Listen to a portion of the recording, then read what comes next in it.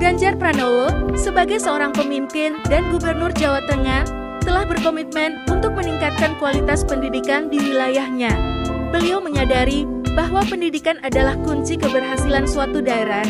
Ganjar Pranowo mengedepankan inovasi dan kolaborasi untuk mencapai tujuan tersebut. Melalui program-program unggulannya, Ganjar Pranowo telah memperkenalkan berbagai inovasi dalam dunia pendidikan, termasuk penerapan teknologi di sekolah-sekolah dan peningkatan kualitas guru.